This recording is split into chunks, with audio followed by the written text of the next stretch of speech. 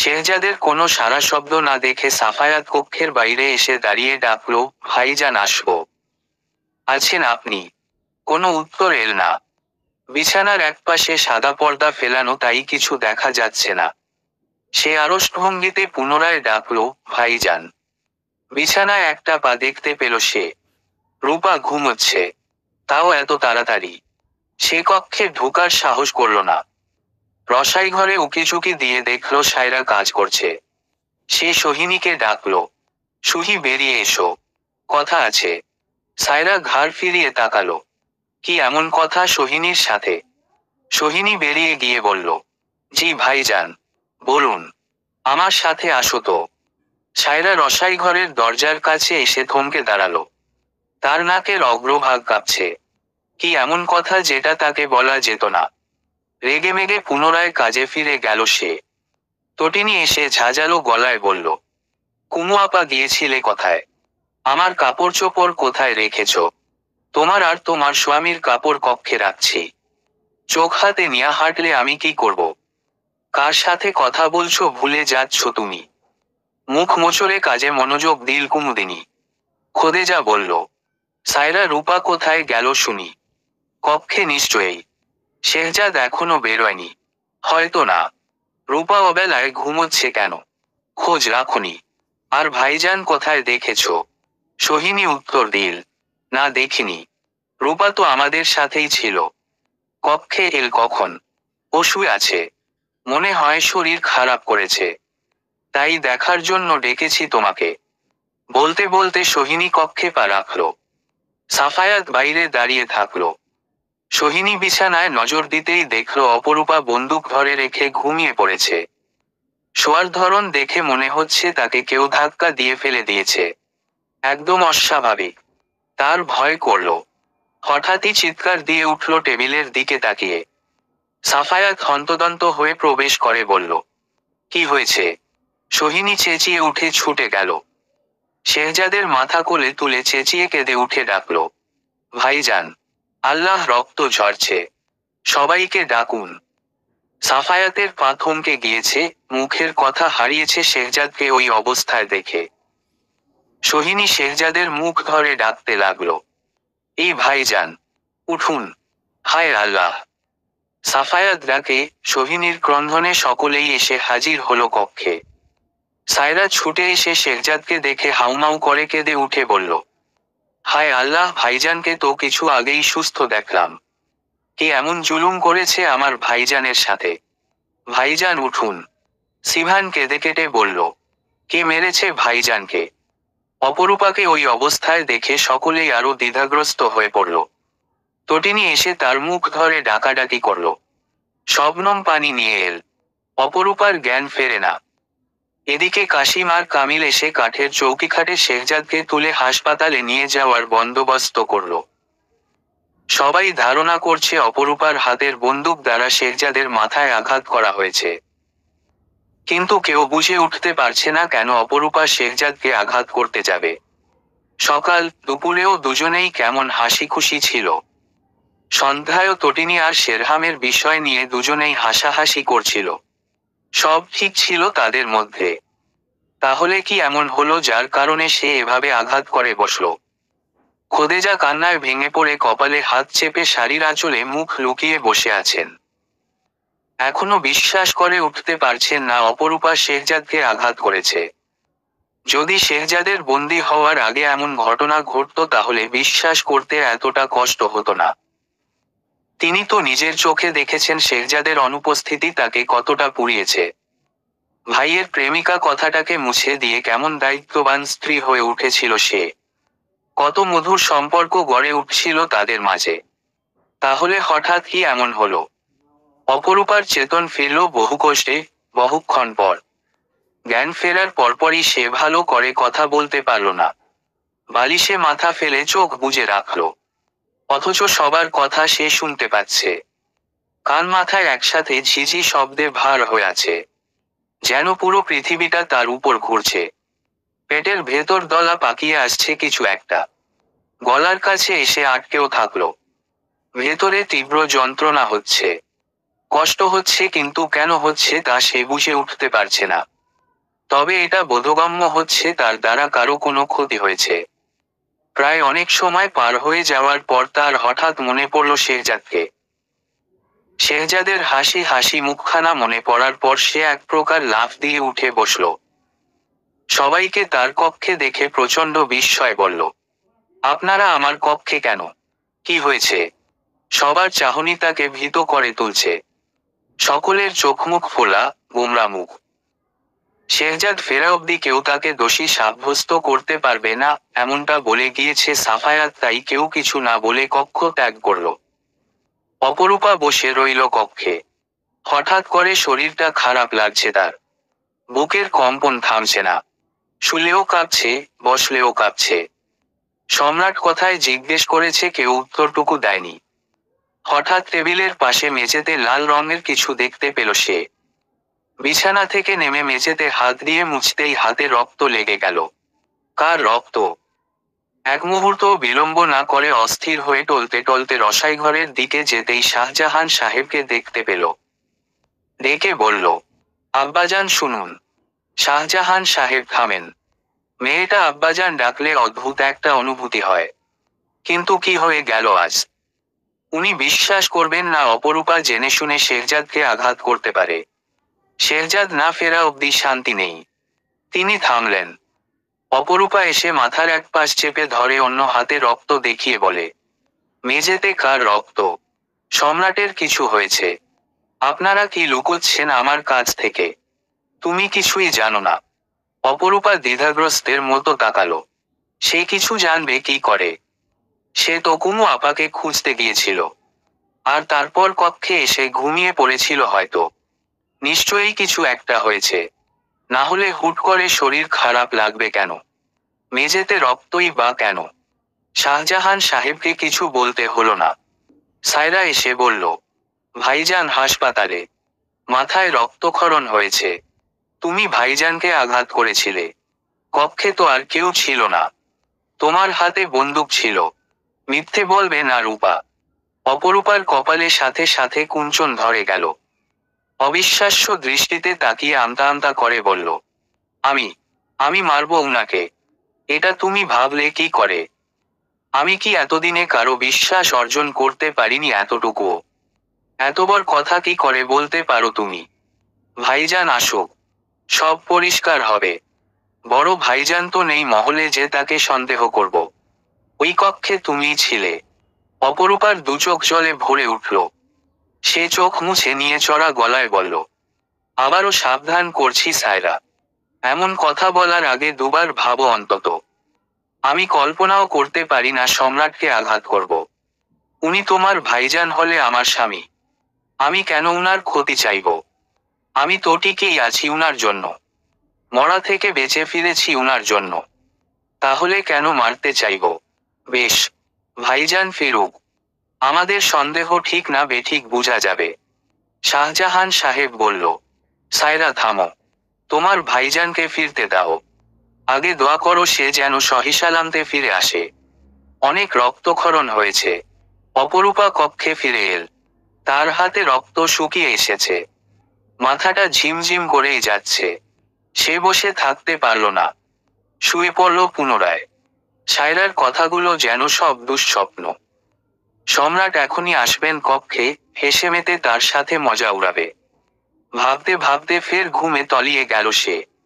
ঘুম ভাঙল ফুলকলির চেঁচামেচিতে। ধরফর করে উঠে বসল সে। বুকটা ধরফর করছে। গায়ে ঘাম দিয়েছে। ফুলকলি বলল, তোমার জামাইরে হাসপাতাল থেকে আনছে। অপরূপা দ্রুপায় বিছানা থেকে নেমে এক প্রকার ছুটতে ছুটতে হাজির হলো সদর কক্ষে।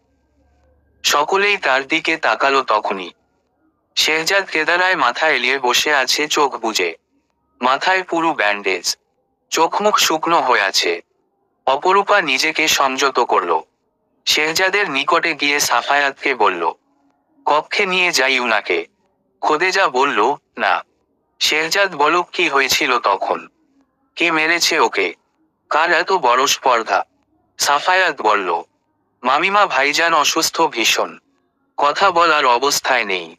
ডাক্তার ছাড়তে চাইলেন না। ভাইজান থাকতে চাচ্ছেন না, তাই নিয়ে এসেছি। সকালে সব জবাবদিহি হবে। সাহানা বলল, বকার মতো কথা বলছো তুমি, সাফায়াত। জানতে হবে না কে তার ক্ষতি চায়।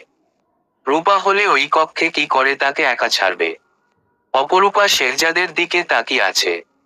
শেহজাদ চোখ খুলে তার দিকেই তাকিয়েছিল অপরূপার চোখের কাতরতা তাকে প্রশ্ন করছে, আপনি কি বিশ্বাস করেন আমি আপনাকে মেরেছি? শেহজাদ কেদারা ছেড়ে দাঁড়িয়ে বলল, আমি কক্ষে যাচ্ছি। এখন কোনো কথা বলতে চাই না। সবাই যে যার কাজে যান। অপরূপা ওর নিকটে এসে বলল, উনাদের বলুন সত্যিটা কি? নিজেকে খুব অসহায় লাগছে। উনারা বলছেন, আমি নাকি আপনাকে আঘাত করেছি। অন্য কেউ আঘাত করবে এটাও অস্বাভাবিক। তাহলে সত্যিটা কি? কিছু বলতে চাই না এখন। পথ সারো তুমি।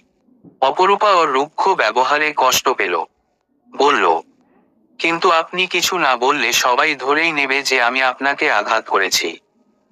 আপনি যা বলবেন আমি তাই বিশ্বাস করে নেব। শেহজাদ বলল, তাহলে জেনে রাখো, তারা যা বলছে তাই সত্যি। তুমি আঘাত করেছ আমাকে। কেন করেছ তার কারণ তুমি ভালো জানো। খোদেজা বলে উঠল। ওর স্পর্ধা দেখেছ সবাই। কত অবলীলায় মিথ্যে বলে চলেছে তখন থেকে। কেন তুমি ওকে আঘাত করেছ? উত্তর দাও। অপরূপা শেহজাদের দিকে চেয়ে আছে। শেহজাদ রুক্ষ স্বরে বলল, আম্মা, আমি কোনো চেঁচামেচি শুনতে চাই না এই মুহূর্তে। রূপা কক্ষে যাও। আমি সত্যি। শেহজাদ উঁচু স্বরে চেঁচিয়ে উঠল, কক্ষে যেতে বলেছি। অপরূপা কক্ষে চলে গেল। শেহজাদ পুনরায় ধপাস করে কেদারায় মাথা এলিয়ে বসল। সবটা এত অসহ্য লাগছে কেন? চারপাশটা এত অশান্ত। সে নিতে পারছে না আর। শেরহাম সদর দরজা পার হয়ে সবার দিকে চোখ বুলাতেই শেহজাদকে দেখে কপাল ভাঁজ করল। আবার কি নাটক চলছে এখানে? এর মাথা ফাটল কে? তটিনী তাকে দেখে শেরতাজ সাহেবের পেছনে গিয়ে জোরসড়ো হয়ে দাঁড়িয়ে উকি দিল। শেরহামের চোখ তার দিকে পড়তেই লাল হয়ে এল। তটিনী শুকনো ঢোক দিলে দৌড়ে দৌড়ে চলে গেল। যাওয়ার সময় পেছনে ফিরতেই শেরহাম একইভাবে একই দৃষ্টিতে তাকিয়ে থাকতে দেখল। আরও জোরে দৌড় দিল সে। জীবনেও এই লোকের সামনে পড়বে না সে। নাতিপুতির নানি না হয়ে সে মরতে চায় না। তটিনী শেরহামের খাবার বেড়ে ফুলকলিকে বলল, যাও দিয়ে এসো। আমার কথা জিজ্ঞেস করলে বলবে আমি ঘুম। খবরদার সত্যি কথা বলবে না। ফুলকলি খাবার নিয়ে ভয় ভয় শেরহামের কক্ষের দিকে যেতেই শেরহামকে বন্দুক, পিস্তল আর তলোয়ারের পাশে বসে থাকতে দেখে পুনরায় রসাই ঘরে ফিরে এসে বলল, আল্লাহ, রো আস্তে আমাকে ছাড়ো বাবু আমার ভয় করে ওই মানুষকে দেখলে। এত এত অস্ত্র নিয়ে বৈশা আছে। হাত কাটছে তারপরও শান্তি নাই। কি ভয়ঙ্কর লোক। তটিনী বলল, কেউ নিয়ে যাও না। ঠিক সময় খাবার না পেলে আমার নাম ধরে চিল্লাচিল্লি করবে। সোহিনী নিয়ে যা দয়া করে। সোহিনী খাবার নিয়ে গেল। টেবিলের উপর থালা রেখে বলল, ভাইজান, খেয়ে নিয়েন।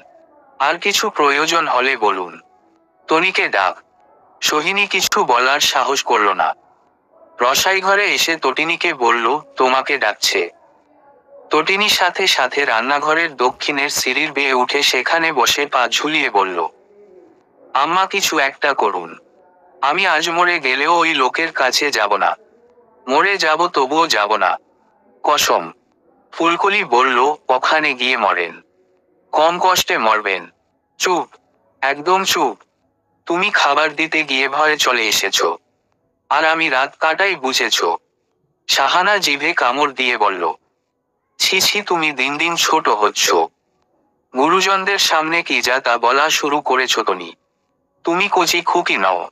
তটিনী লজ্জিত হয়ে বলল, দুঃখিত আম্মা মাফ করুন। আর বলব না। সাহানা মাথা নাড়তে নাড়তে ভাত বাড়তে লাগলেন। খোদেজা চুপচাপ বসে আছে। কোনো কথা বলছেন না। শেহজাদ দরজা ঠেলে কক্ষে প্রবেশ করতেই অপরূপা তার কাছে হেঁটে এল। শেহজাদ চোখ তুলতেই ওর ফোলা রক্ত ন্যায় চোখ দুটো দেখল। অপরূপা নিজেকে সামলে বলল আপনি কি এই কক্ষে থাকবেন নাকি আমি থাকব? থাকতে পারো। আর নিশ্চয়ই আঘাত করবে না। বলেই ড্রয়ারের কাছে গিয়ে হাতের রূপোর ঘড়িটা খুলতে লাগল। অপরূপা রাগান্বিত কণ্ঠে বলল, কেন অপরাধীকে শাস্তি দিচ্ছেন না? কেন এত উদাসীন আপনি? যখন দোষারোপ করছেন তখন শাস্তিও দিন। আমি যার জন্য এই মহলে আছি সে আমাকে অবিশ্বাস করছে, আমি দম নিতে পারছি না। খুব কষ্ট হচ্ছে আমার। চারপাশে আধার দেখছি। এত কষ্ট আগে কখনো হয়নি। শেহজাদ ঘড়ি খোলা বাদ দিয়ে দাঁড়িয়ে রইল। অপরূপা ওর পেছনে গিয়ে জড়িয়ে ধরে পিঠে মাথা ঠেকিয়ে এবার চোখের জল ছেড়ে দিয়ে বলল, আপনি আমার সবচাইতে কাছের মানুষ। আপনি ছাড়া আমার এতটা আপন কেউ নেই। আপনি আমাকে সবচাইতে বেশি বিশ্বাস করেন, ভালোবাসেন। আপনি আমার দিক থেকে মুখ ফিরিয়ে নেবেন না। আমি শেষ হয়ে যাব। আমি আপনাকে আমার সবটুকু দিয়ে ভালোবাসার চেষ্টা করে যাচ্ছি, আপনি আমাকে এতটা দূরে সরিয়ে দেবেন না।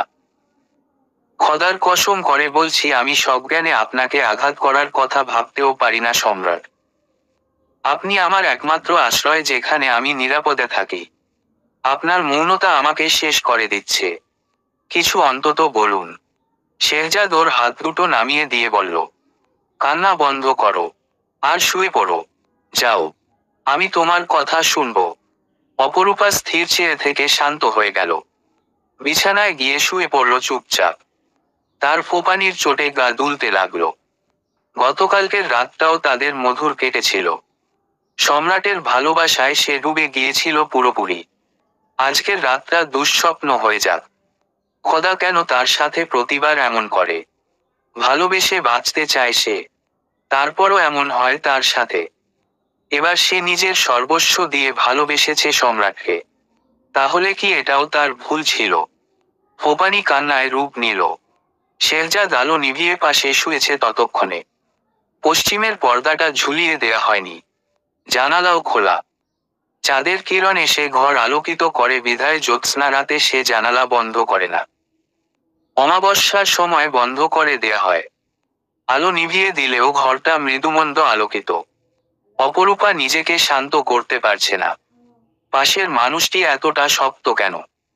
হায়, মানুষ এত সহজে কি করে পরিবর্তন হয়ে যায়? কান্নার তোরজোর বাড়তে লাগল আরও। মাথার যন্ত্রণায় অপরূপাকে শান্ত করানোর কথা মাথা আসে না শেরজাদের, কিন্তু কোথাও একটা তীব্র কষ্ট হয়। বুকের একটা পাশ খিচে ধরে রাখে। অশান্ত লাগে হাঁস ফাঁস লাগে। কোমর টেনে অপরূপাকে কাছে টেনে আনতেই অপরূপা তার স্পর্শ পেয়ে শান্ত হয়ে গেল। কিন্তু পরক্ষণেই ভালোবাসা পাওয়ার জন্য আরও উতলা হয়ে উঠল মনটা। শেহজাদ তার সারা মুখে অসংখ্য চুম্বন করে, বলল, ঘুমাও চুপচাপ। আমাকে জ্বালাবে না আর। অপরূপা তার গলা ঝাপটে জড়িয়ে ধরে ধারালো দাড়িতে ঠোঁট দাবিয়ে চুম্বন করে, বলল, না না, আরও। তটিনী যা ভেবেছিল তার কিছুই হয়নি। শেরহাম চেঁচিয়ে তাকে ডাকেনি। সে মহা খুশি। সাইরাদের সাথে থাকবে সে। পাশাপাশি তিনটা চৌকি পাশাপাশি লাগিয়ে তাদের ঘুমানোর ব্যবস্থা। সকলেই কথা বলছিল শেরজাদকে নিয়ে। শেরহামের কথা প্রায় মাথা থেকে বেরিয়ে গেছে তার। বিছানায় শুয়ে গড়াগড়ি খাচ্ছিল ঠিক তখনই সাহানা এসে বলল, শেরহাম খেয়েছে। খেলে থালা বাসনগুলো কেউ নিয়ে আসুনি কেন? সোহিনী বলল ভাইজান আমাকে বকবে। তনি আপুকে যেতে বলেছিল। তটিনী বলল, অসম্ভব, আমি যাব না। সাহানা বলল, ওকে তো অতিথিশালার দিকে যেতে দেখেছি। তনি যাও, নিয়ে এসো। দিন দিন ফাঁকিবাজ হচ্ছ। শেরহাম নেই যেতে তো সমস্যা নেই। তটিনী মহাবিরক্ত হয়ে দ্রুতপায়ে কক্ষে চলে গেল। দেখল বাসনে চামচ পড়ে রয়েছে। চার ভাগের এক ভাগও খায়নি শেরহাম। না খেলে না খাক। ভাত না গিললে কি হবে ছাইপাস সব খায় ওই লোক। ফালতু চিন্তা করার সময় নেই।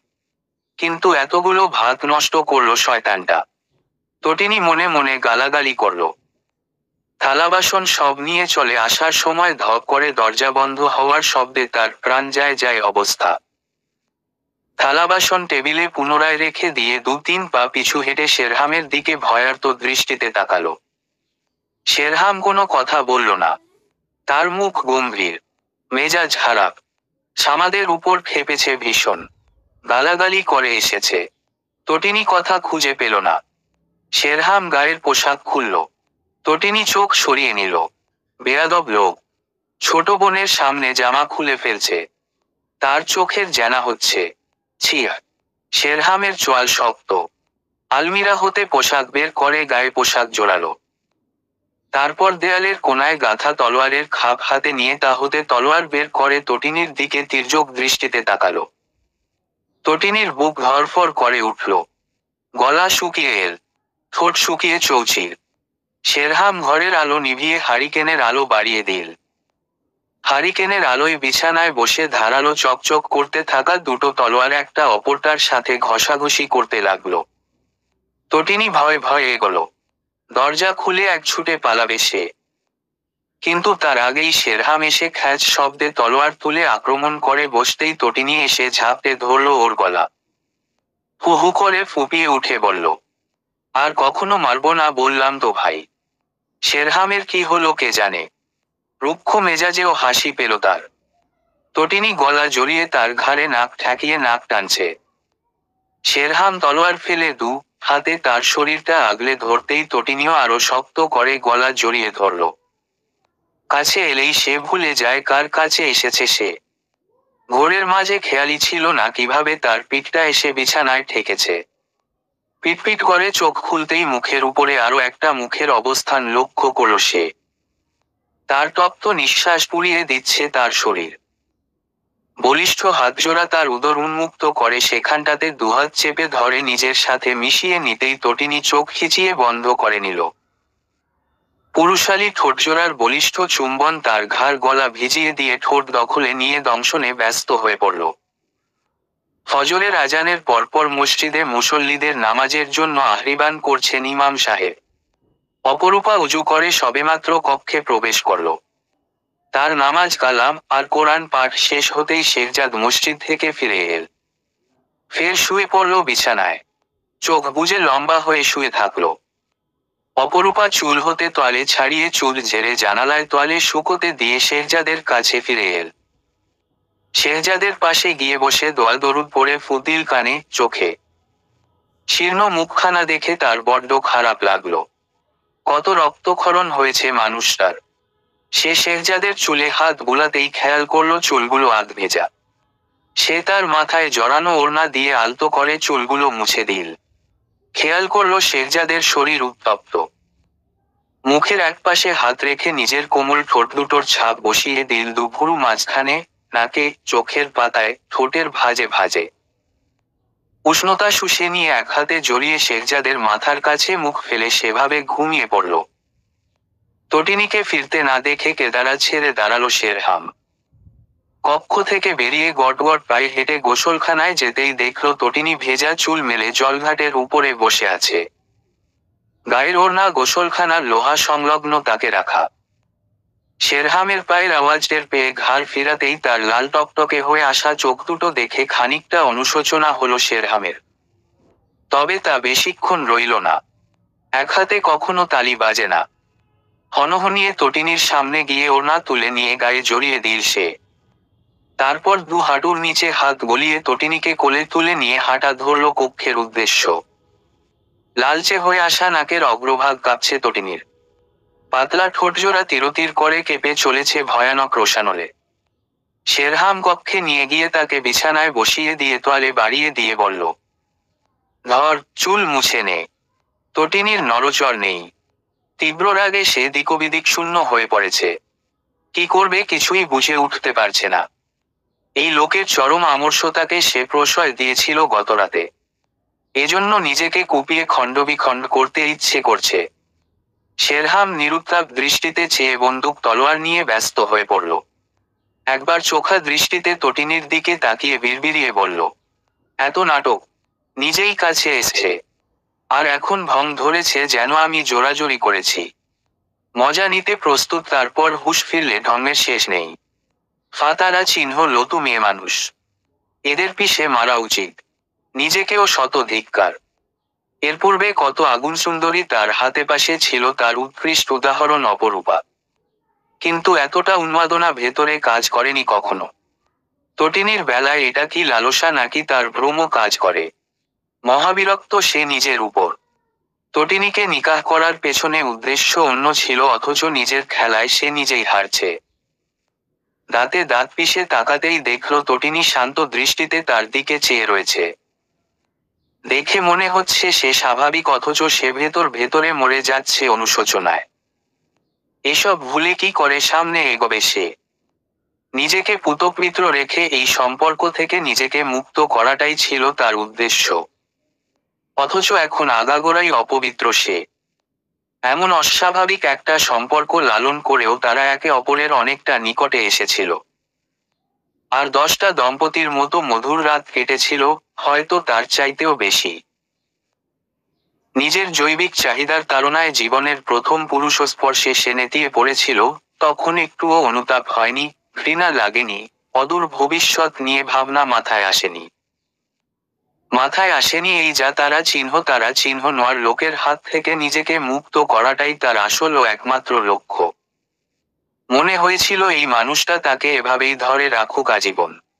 এভাবেই হৃদয় মাঝে ডুবে থাকুক। কামুক্তায় শান্তি খুঁজতে গিয়ে আজ তার এই দশা। মাথার চুল টেনে ধরে কান্নায় ভেঙে পড়ল সে। শেরহাম চোখ ঘুরিয়ে তার কান্না দেখে কিছুক্ষণ স্থির চোখে চেয়ে রইল। চোয়াল, চিবুক শক্ত হয়ে এল তার। দৃষ্টি কঠিন করে ধোপধাপ পায়ে হেঁটে বেরিয়ে গেল কক্ষ থেকে। অপরূপার যখন জ্ঞান ফিরল, তখন ভোরের আলো ঢুকেছে কক্ষে। জানালার পর্দা উঠছে পাখির কিচিরমিচির শব্দ ভেসে আসছে কানে। সে সেভাবে আদশোয়া অবস্থায় নিজেকে আবিষ্কার করল। বিছানায় শেরজাদ নেই। তড়িঘড়ি করে উঠে রসাই ঘরের উদ্দেশ্যে পা বাড়াতেই খাবার ঘরের সামনে গিয়ে থামল। শেহজাদকে সবার সাথে বসে খেতে দেখল। রসাই ঘরে যেতেই দেখল সকালের খাবার খাচ্ছে সবাই, তাকে দেখে ফুলকলি এগিয়ে এল। তোমার এতক্ষণে ঘুম ভাঙল। বাহুবা গো, এতবেলা করে কেউ ঘুমায় বুঝি। অপরূপা চুপ করে রইল। খোদেজা তাকে আপাদমস্তক দেখে খাবার চিবতে থাকল। অপরূপা খোলা চুল খোপা বেঁধে নিয়ে মাথায় কাপড় টেনে নিল। আয়েশা তার জন্য রুটি হালুয়া নিয়ে এসে বলল, মাংস খুব শক্ত হয়েছে ভাবিজান। শেহজাদ ভাইজান খাননি। মাথায় চাপ পড়ছে নাকি? তুমি দুপুরে মাংস একটু নরম করে রেধো। অপরূপা খাওয়ায় মনোযোগ দিয়ে বলল আচ্ছা। সায়রা সোহিনীকেও কথা বলতে এল না। অপরূপা খাওয়া শেষে কুমুদিনীকে ডাকল, কুমু আপা, আমার কক্ষে এসো। কথা আছে। দ্রুত। কক্ষ হতে বেরিয়ে গেল সে। কক্ষে গিয়ে কুমুর জন্য অপেক্ষা করতে লাগল। কুমুদিনী এসে কক্ষ ঝাড়ু দিতে লাগল। অপরূপা রুক্ষ স্বরে বলল, এসব আমি পারব। আমার কাজ কেউ করুক তা আমার পছন্দ নয়। কাল তুমি মহলের পেছনে কি করছিলে? সত্যি কথা বলো। কুমুদিনী অবাক চোখে তাকিয়ে ফিক করে হেসে উঠল, বলল ধূর দল না চড়তে গেছিলাম। মাঝে মধ্যে যাই। ওইদিকে বেলি ফুলের গাছ থেইকা ফুল নিয়ে মালা গাঁথি বেলি আমার বড্ড পছন্দের। কেন জিগাইতেছ? অপরূপা সন্দিহান কণ্ঠে বলল, কাল ওখান থেকে এসে ঘুমিয়ে পড়েছিলাম। উঠে দেখি এত বড় ঘটনা ঘটে গেল। আমি কিন্তু সন্দেহ করছি তোমাকে। তোমার হাতের ফুলগুলোতে কি এমন কিছু ছিল যার কারণে আমি অজ্ঞান হয়ে পড়েছিলাম? সত্যি বলবে। আমি সম্রাটকে বলে তোমাকে মহল থেকে বের করার পন্থাও খুব ভালো করে জানি। কুমুদিনীর চোখ মুখ রাগে ছেয়ে গেল। উঁচু গলায় চেঁচিয়ে বলল, মাগমা, এসব কেমন কথা?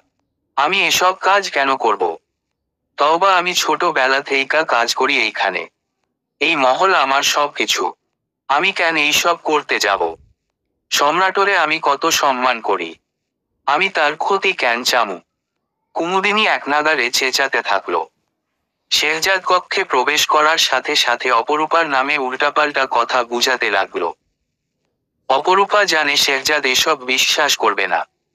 কিন্তু অপরূপাকে অবাক করে দিয়ে শেহজাদ বলল, নিজের দোষ থাকতে এসব করা মোটেও ভালো কাজ নয়। অন্তত তোমার কাছ থেকে এসব আশা করিনি আমি। ওকে আমরা চিনি অনেক বছর ধরে। সত্যিটা না বলে প্রতি পদে পদে আমাকে হতাশ করছ তুমি। অপরূপা বলল, আপনার কি মনে হচ্ছে না আমার অজ্ঞান হওয়ার পেছনে অন্য কারণ থাকতে পারে? ওকে এত বছর ধরে চেনেন তাই অবিশ্বাস করতে পারছেন না। আমাকে দুবছর ধরে চেনেন তাই বলে অবিশ্বাস করছেন। মোটেও না। আমি এমনটা বলিনি। কুমু, তুই যা। কুমু দৌড়ে চলে যেতেই অপরূপা বলে উঠলে। আমি বলেছেন এমনটা। আপনার বুঝানোর ধরনটাও পরিবর্তন হয়ে গেছে। আপনি আমার সাথে কেমন আচরণ করছেন তার উপর নির্ভর করছে মহলের বাকিসবাই আমার সাথে কেমন আচরণ করবে। আপনি আমার সাথে রুক্ষ স্বরে কথা বললে ওরাও বলবে। কারণ সবাই আপনাকে মনে প্রাণে বিশ্বাস করে, ভালোবাসে।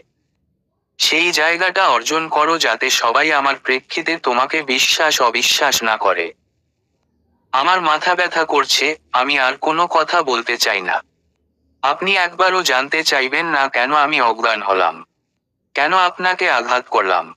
কাল তো অস্বীকার করছিলে। আজ স্বীকার করছ তবে। অপরূপা করুণ চোখে তাকিয়ে বলল, আপনি আমাকে কতটা অবিশ্বাস্য চোখে দেখছেন তা ভেবেই মরছি আমি। এই চাইতে খারাপ পরিস্থিতিতে আপনি আমাকে বিশ্বাস করেছিলেন। আজ কি হলো? আপনার বিশ্বাস হয় আমি নিজের স্বার্থে আপনাকে আঘাত করতে পারি। বললাম তো আমি কিছু জানতে চাই না রূপা। আমার মাথায় যন্ত্রণা করছে। দু দুবার আঘাত করেছ তুমি। আমাকে আমার মতো থাকতে দাও। অপরূপা কক্ষ হতে হনহনিয়ে বের হয়ে গেল। কুমুদিনী কাতলা মাছ কাটছিল। অপরূপা হনহনিয়ে গিয়ে তার হাত থেকে বটি কেড়ে নিয়ে হাত চেপে ধরে বলল, খদার কসম করে বলছি, আমার শান্তি কেড়ে নেয়ার জন্য তোমাকে দুর্ভোগ পোহাতে হবে। স্বীকার করো তুমি যদি কোনো অপরাধ করে থাকো। কুমুদিনী এক ছুটে খদেজার পেছনে লুকিয়ে বলল, মা বেগম দেখেন, আপনাগো বউ আমারে সন্দেহ করতেছে শুধু শুধু। আমারে বাঁচান। আমি কি করব? আমি কিছু করি নাই। অপরূপা রাগে ফুসছে। তার চোখের আগের আস্ফালন স্বরূপ টলটলে জল। সকলেই কুমুদিনীর চেঁচামেচি শুনে এসে ভিড়ল রসাই ঘরে। খোদেজা বলল, কি হয়েছে? কি করেছে ও বলবে তো? অপরূপা ফুসতে ফুসতে সবটা খুলে বলল। কুমুদিনী বলল, আমার ঘরে গিয়া দেখো কত ফুল আছে ওইখানে। আমি ফুলপাগল সব্বাই সেইটা জানে। সম্রাট ভাইজানও জানে, তুমি আমার লগে কেন শত্রুতা করতাছ। নিজের দোষ ডাকোনো লাগিয়া আমারে জোড়াইতাছ। তুমি তো মহলে পা রাখছিলা সবার ক্ষতি করার জন্য। এখন ভাইজানরে কাছে পাইয়া চুপি চাপি শত্রুতা করতাছ। অপরূপা বটি ছুঁড়ে ফেলে খোদেজার পেছনে থেকে টেনে আনলো তাকে। শক্তপোক্ত একটা চর বসিয়ে ধাক্কা মেরে ফেলে দিয়ে বলল, একদম বাজে কথা বলবে না। নিজের সীমার মধ্যে থাকো। কুমুদিনী চিৎকার দিয়ে উঠল, উমাগো কোমর ভেঙে গেল। সবাই হতভম্ব চোখে চেয়ে আছে। সায়রা কুমুদিনীকে তুলে বাইরে বের করে দিল। শেহজাদ এসে বলল, কি হয়েছে?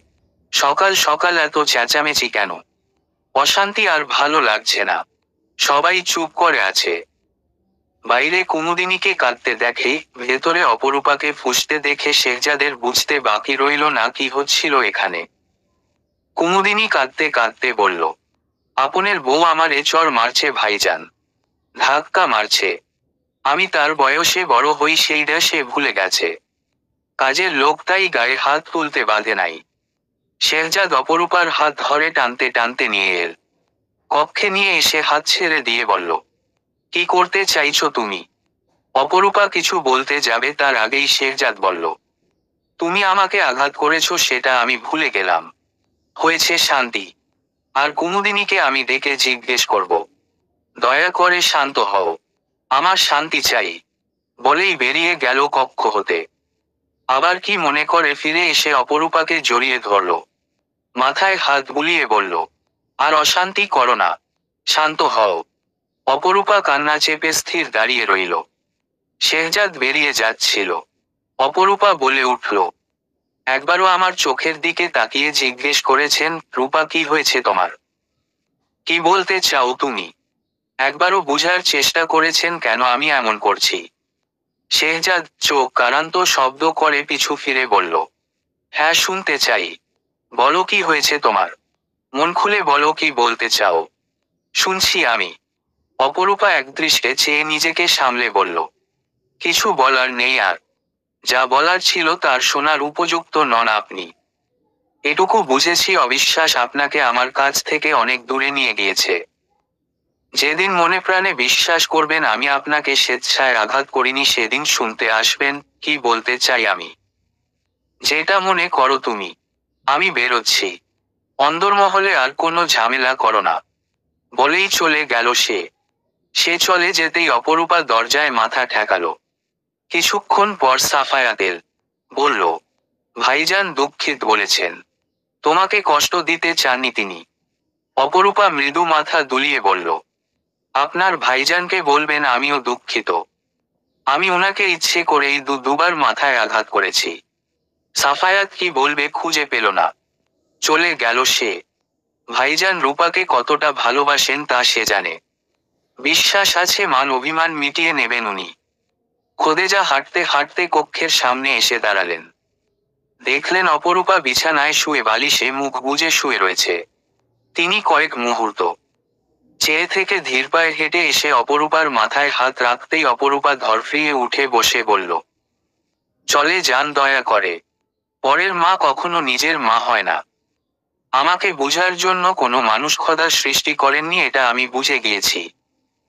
আমাকে সান্ত্বনা দেবেন না না আশ্বাস দেবেন। আমি আর কারও কাছে কোনো কৈফিয়ত দেব না। কপালে যা আছে তাই হবে।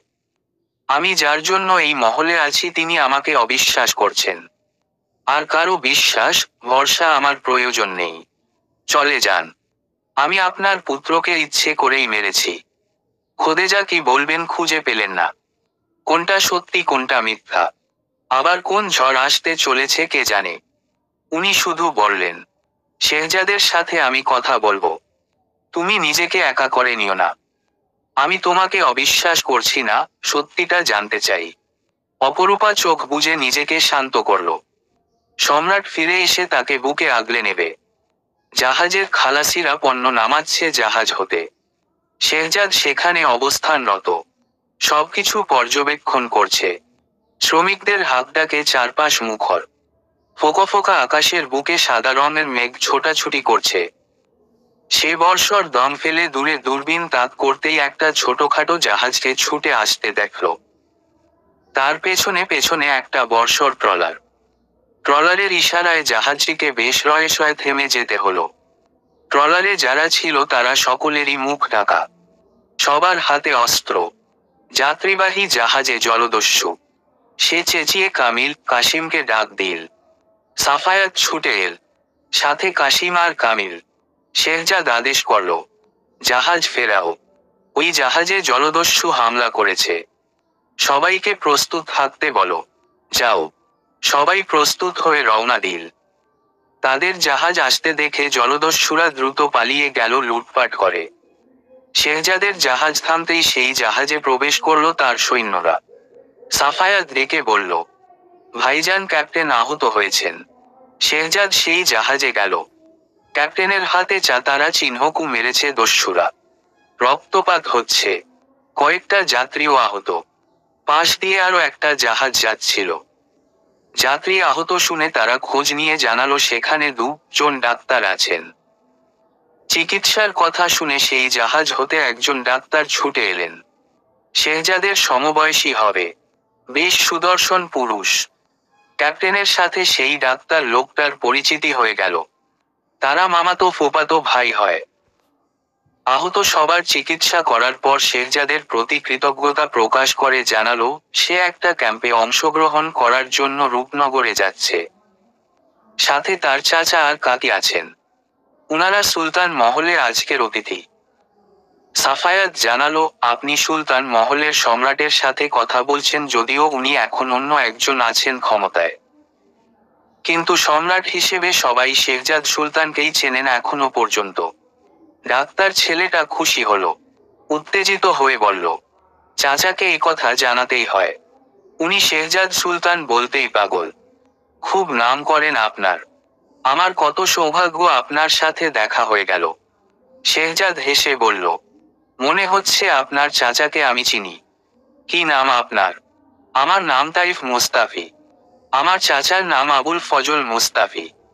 শেহজাদ ফজল সাহেবকে নিয়ে আসার আদেশ করল। উনি উনার স্ত্রীকে সাথে নিয়ে এলেন। উনার স্ত্রীর চোখ দুটো শুধু দৃশ্যমান। আগাগোড়া কালো বোরকায় আবৃত। শেহজাদের সালামের উত্তর অত্যন্ত মিষ্টি করে দিলেন উনি। ভালো মন্দ জিজ্ঞেস করলেন কাছ থেকে রাজপুত্র দেখলেন যেন। শেহজাদের সাথে কথা বলার পর উনার মনটা ভালো হয়ে গেল। কি অমায়িক মানুষ। উনার চোখ দুটো কণ্ঠস্বর এত পরিচিত মনে হলো শেরজাদের রূপার চেহারাটা দৃশ্যমান হলো মানসপটে তারপর সাথে সাথেই বুক ভার হয়ে গেল। মেয়েটাকে না ভাবলেই সে শান্তিতে থাকে। ক্যাপ্টেনের মামা হন ফজল সাহেব। ক্যাপ্টেন আর তাইফো সমবয়সী। তারা একে অপরকে তুই বলে সম্বোধন করছে। সাফায়াতের সাথে তাদের বেশ ভাব হয়ে গিয়েছে কয়েক মুহূর্তে। ক্যাম্পেইনকে নাদির নামে সম্বোধন করতে দেখা গেল। শেহজাদ সবাইকে মহলে আমন্ত্রণ জানালো এবং সৈন্যদের দিয়ে সেই খবর মহলে পাঠিয়ে দিল। অতিথি আসছে শুনে রসাই ঘরে কাজের চাপ বেড়ে গিয়েছে। অপরূপা আজ কক্ষ হতে বের হয়নি। খোদেজার কথায় ফুলকলি কয়েকবার এসে জিজ্ঞেস করে, গেল ভালো মন্দ? সে খাবে না, উঠবে না, যাবে না বলে ফুলকলিকে পাঠিয়ে দিল। সবাই আর কিছু বলেনি। শেহজাদ ফিরলে সব ঠিক হয়ে যাবে। অপরূপা মাগরিবের নামাজ পড়ে নিল। আগরবাতি জ্বালিয়ে রসাই ঘরের উদ্দেশ্যে যেতেই শেরহামের মুখোমুখি হল। শেরহামের কানে গিয়েছে একাত্ম খঞ্জনা। শেষ দিয়ে বলল, আমি না হয় বেশি খারাপ ছিলাম। এখন দেখি মনের মানুষের সাথে থেকে তোমার অবস্থাটাই বেশি খারাপ হয়ে গিয়েছে। আহারে আফসোস। অপরূপা আঙ্গুল তুলে বলল, নিজের ধ্বংস ডাকবেন না। খোদা ছাড় দেন কিন্তু ছেড়ে দেন না এটা মনে রাখবেন।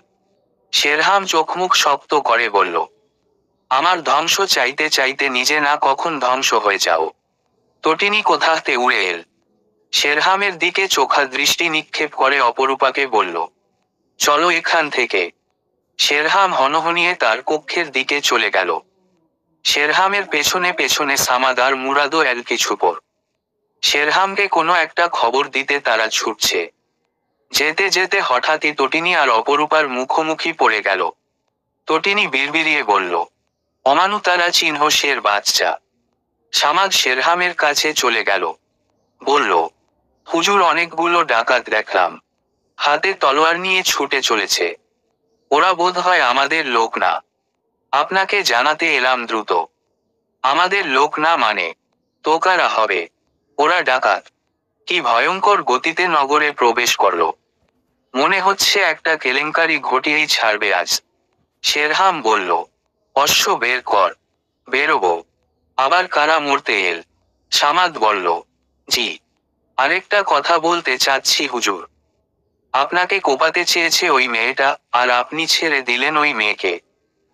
আপনি একটা পিঁপড়েকেও ছাড় দেন না, সেখানে এই মেয়েকে। শেরহাম ঘাড় ফিরিয়ে বলল, কি বলতে চাচ্ছিস? ওকে আমি মাফ করে দিয়েছি। সুযোগ পেলে শোধ তুলে নেব। শেহজাদ ফেরেনি এখনও। না, কে জানে এতক্ষণ কি করছে। গুদামের মালিকদের খবর দিয়েছি। কাল সকালে এসে নিয়ে যাবে খাদ্যশস্য। শেহজাদ এলে টাকা পয়সার হিসেব সব বুঝে নিবি। এক পয়সাও ছাড় দিবি না। ওর ভাব দেখে মনে হয় আমার হয়ে কাজ করছে না আমি ওর হয়ে কাজ করছি। ঠিক আছে। শেরহাম পকেটে পিস্তল ভরতে শুরু করল। অস্ত্র নিয়ে বেরিয়ে গেল মহল থেকে। তারপর কালো ঘোড়াটির পিঠে চড়ে টোগব গিয়ে ছুটে চলল সৈন্য নিয়ে। বাচ্চাদের আমসিপোড়া পড়ানো হয় অমন একটা মাদ্রাসার আশেপাশের সব বাড়ি থেকে বাচ্চা তুলে নিয়ে যাচ্ছে ডাকাত দল। শক্তিশালী ঘোড়ার পিঠে সকলেই মুখোশ পরা ডাকাত। হাতে মস্ত বড় বড় ধারা তারা চিহ্ন তারা চিহ্ন লো তলোয়ার। একজন দু, জন নয়, শত শত। ঘোড়ার খুরের শব্দে যেন ভূমিকম্প হচ্ছে। শেরহাম মারালে দাঁড়িয়ে দেখল। তারপর ঢুকে গেল তাদের ভিড়ে। সুকৌশলে একজনকে আক্রমণ করে, পা টেনে জঙ্গলের ভেতর নিয়ে এসে বুকের উপর হামলে করে, মুখোশ টেনে খুলতেই সেই ডাকাত প্রাণের ভয়ে জানালো তারা চন্দ্রলালের লোক। শেরহাম বিকট শব্দে গর্জে তার বুকের মধ্যে তলোয়ার গেথে দিতেই ওর মুখটা রক্তে ভরে উঠল। সারা নগরের ধুলো উড়িয়ে ডাকাতরা অনেকগুলো বাদশা নিয়ে পালিয়ে গেল। শেরহাম সামাদকে বলল, বুড়ো চালাকি শুরু করেছে আমার সাথে। ওকে গিয়ে সাবধান কর। বাচ্চাগুলোকে ফেরত নিয়ে আয় রাতের মধ্যে। আমাকে যদি যেতে হয় তাহলে একটাকেও জ্যান্ত রাখব না বলে দিবি। সৈন্যরা পরাগ পাহাড়ের উদ্দেশ্য রওনা দিল। এদিকে মহলে ফিরে অতিথিশালায় ঢুকলো শেরহাম। রক্তাক্ত অবস্থায় মহলে গেলে শেখজাদের কানে গেলে সে তাকে সন্দেহ করবে।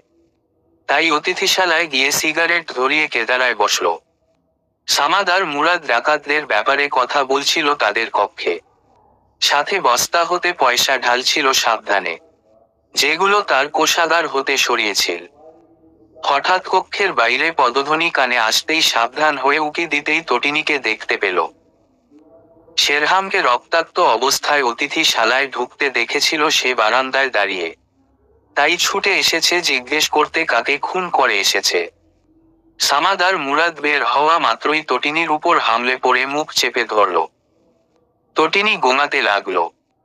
সামাদ ওর মুখ চেপে ধরে দেখল সিংহদার পেরিয়ে শেরজাদার সাফায়াতের ঘোড়া এসে থেমেছে। পেছনে ঘোড়ার গাড়িতে অতিথিরা।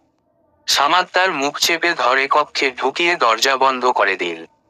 মুরাদ কাপড় এনে মুখ বেঁধে দিল। দুহাত পেছনে নিয়ে গিয়ে বেঁধে দিল। তারপর বুকের ওড়না টেনে নিয়ে ফেলে দিল নিচে। তখনই ঠক ঠক করে কেঁপে উঠল দরজা। শেরহাম ডেকে উঠল। এই দরজা খোল। তটিনী তার গলা শুনে গোঙাতে থাকল। তটিনীকে লুকিয়ে সামাদ দরজা খুলে উকি দিয়ে বলল, আসছি হুজুর। কতবার বলেছি পানির কলস নিয়ে আসতে। কুমুদিনীকে বল। বলতেছি হুজুর। তটিনীর চোখ ফুলে হলো, বের হলো শেরহামকে চলে যেতে দেখে। শেরহাম কক্ষে গিয়ে কেদারায় বসে উরুতে দুহাত ঠেকিয়ে বসে ভাবছিল চন্দ্রলালের কথা। এই বুড়ো তার কথা অমান্য করেছে। একে শাস্তি না দেয়া অব্দি তার শান্তি নেই। দরজা ঠেলে সামাদ এসে বলল, হুজুর, ওই মেয়েটি কক্ষের বাইরে এসে উকিচুকি দিচ্ছিল। হয়তো শেখজাদ সুলতানকে গিয়ে সবটা বলার জন্য। শেরহাম খ্যাক করে বলে উঠল, কোন মেয়ে? ঘাড় ধরে নিয়ে আয়। এক কোপে মাথা আলাদা করি। মুরাদ মুখের পট্টি টান দিয়ে খুলে তটিনীকে ধাক্কা দিয়ে ছুঁড়ে মারল কক্ষের ভেতর। আর কোনো উপায়ান্তর না দেখে এই পথ বেছে নিয়েছে তারা। শেরহামের কবলে পড়লে মৃত্যু নিশ্চিত তারা তা জানে। তাই তটিনীর গায়ে হাত দেওয়ার কথা ভাবতে পারেনি। তটিনী মুখ থুবড়ে পড়ল শেরহামের সামনে। কেঁদে উঠে চোখ তুলে শেরহামকে রক্তাক্ত অবস্থায় দেখে ঘৃণা ভরে তাকালো। শেরহাম তাকে তুলতে যেতেই সে শেরহামকে ধাক্কা দিল। শেরহাম কয়েক পা দ্রুত পিছিয়ে গেল।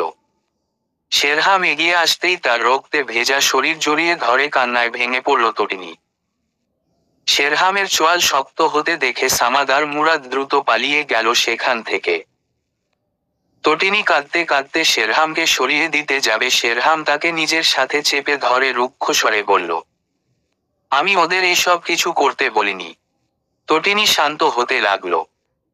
শেহজাদ আর সাফায়াত ফিরেছে শুনে সদর কক্ষে সায়রা সোহিনী শবনম আর আয়সা ছুটে এল। দেখল তিন, জন ভদ্রলোক আর একজন মহিলা বসে আছেন কেদারায়। শেহজাদ বলল, ওরা আমার বোন। তোমরা তো ডাক্তার বাবুকে চেনো। উনাদের সাথে পরিচিত হয়ে নাও। উনি ডাক্তার তাইফ মুস্তাফি আর উনি ক্যাপ্টেন নাদির মেহমাদ আর উনি ডাক্তার বাবুর বেগম। উনারা আমাদের অতিথি। সকলেই সালাম দিয়ে মাথায় ভালো করে কাপড় টেনে নিল সংকুচিত হয়ে। হেসে সালামের উত্তর দিলেন ফজল সাহেব। সায়রা মিনমিন করে শেহজাদকে বলল, আপুকে খুঁজে পাচ্ছি না, ভাইজান। কক্ষেও নেই। শেহজাদ অতিথিদের সামনে কিছু বলতে চাইল না। অন্দরমহলে আসতেই অপরূপার মুখোমুখি হল। অপরূপা ওকে পাশ কাটাতে যাবে তখনই ফজল সাহেবকে দেখলেন। ফজল সাহেব ডাকলেন রূপামা কেমন আছো তুমি? অপরূপা তির্যক দৃষ্টিতে শেহজাদকে দেখে বলল, ভালো। বলেই পাশ কাটিয়ে চলে গেল। মহিলাটিকে খেয়াল করল না। তটিনীকে নিশ্চয়ই সামাদ আর মুরাদ কিছু করেছে। সে সদর দরজা পার হয়ে অতিথিশালার দিকে যেতেই নাদির মেহমাদ বলে উঠল, মেয়েটি মামিমার মতো দেখতে না। তাইফ মুস্তাফি বলে উঠল, তাই তো। শেহজাদ ফজল সাহেবকে বলল কিছু মনে করবেন না। ও বোধহয় কোনো কিছু নিয়ে চিন্তিত আছে। ফজল সাহেব হেসে বললেন, ওকে তো চিনি আমি। কোনো সমস্যা নেই সম্রাট সাহেব। আপনারা বসুন। আমি আম্মাকে খবর দিচ্ছি। আমার একটা বোনকে পাচ্ছি না। ওকে খুঁজে দেখতে হবে। আপনি যান। সমস্যা নেই। শেহজাদ চলে যেতেই স্ত্রীর দু চোখের দিকে তাকাতেই টলটলে চোখ দুটো দেখতে পেলেন ফজল সাহেব। হাত ধরে ডাকলেন, অনুপমা ওর নাম অপরূপা। যার কথা তোমাকে বলেছিলাম। খোদেজা সাহানা সকলেই অনুপমার কাছে এল। নিকাব খুলতেই সকলেই দ্বিধাগ্রস্তের মতো চেয়ে থাকল। এই মহিলা তো অপরূপার মতোই। মহিলা বারবার চোখ ঘুরিয়ে অপরূপাকে খুঁজতে ব্যস্ত। তার অপু। অপরূপা ফিরে এল যখন সৈন্য বলল, শেরহাম সুলতানের কাছেই উনার বেগম আছে। ফিরে এসে অনুপমাকে চোখে পড়ার সাথে সাথেই কপাল কুচকে গেল তার। অনুপমা ঠোঁট কামড়ে কান্না আটকালো। অপরূপা স্থির চেয়ে রইল কপাল কুচকে। এমন একটা মহিলাকে সে সাদা কালো একটা ছবিতে দেখেছিল সে ছোটবেলায়। চাচি দেখিয়েছিল। অনুপমার চোখে জল দেখে সকলেই তখন কিছু না কিছু বুঝে নিয়েছে। ফজল সাহেব মনে মনে হাসলেন, এই ভেবে উনার সন্দেহটা সঠিক হয়েছে। পূর্বের রূপা অসুস্থ ছিল বিধায় তার মুখ শরীর শুকনো ছিল। তখন অতটা বোঝা না গেলেও এখন হৃষ্টপুষ্ট চেহারায় গায়ের রং খুলে যাওয়ায় হুবহু মায়ের মতো দেখতে লাগছে তাকে। গায়ের গঠন, চোখ দুটো না ঠোঁটের আকৃতি সবকিছুই মাকে ছাপিয়ে আসা। হাঁটার ধরনটাও একই। তাছাড়া রেগে গেলেও মায়ের প্রতিচ্ছবি ফুটে ওঠে তার মাঝে। যেন মায়ের মেয়ে। বেগম বেশে তাকে দেখে মনে অদ্ভুত প্রশান্তি অনুভব করলেন ফজল সাহেব। মনে প্রাণে কেন যেন তখন বিশ্বাস করতেন রূপনগরের সম্রাট এই মেয়েটাকে নিয়ে ভাবেন, ভালোবাসেন, আগলে রাখতে চান। ফিরে এসে এমন সুখবর শুনে আনন্দে ভরে উঠল মনটা। মামিয়ের মিলনায়তনে নিজেকে এতটা সুখী কেন অনুভব হচ্ছে উনি জানেন না। এই মেয়ের জন্য অনুপমার কত শত নির্ঘুম রাত্রির সাক্ষী স্বয়ং উনি ছিলেন। অনুপমার পরিবার মেয়ের কথা ফজল সাহেবকে না জানালেও বিয়ের কয়েকদিনের মাথায় অনুপমা সবটা খুলে বলেন উনাকে। ফজল সাহেবের সম্মতি পেয়ে অনুপমা অপরূপাকে নিজের কাছে নিয়ে যেতে চান। অপরূপার দাদিজান এই পুতুলের মতো মেয়েটিকে দেননি অনুপমাকে। মেয়েকে বাবা পায় বলে নিজের কাছে রেখে দিয়েছিলেন।